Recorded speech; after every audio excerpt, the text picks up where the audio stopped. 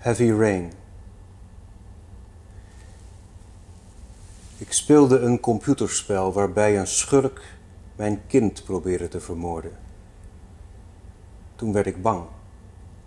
Alsof er een gestoorde vanaf de straat keek door het raam naar mij.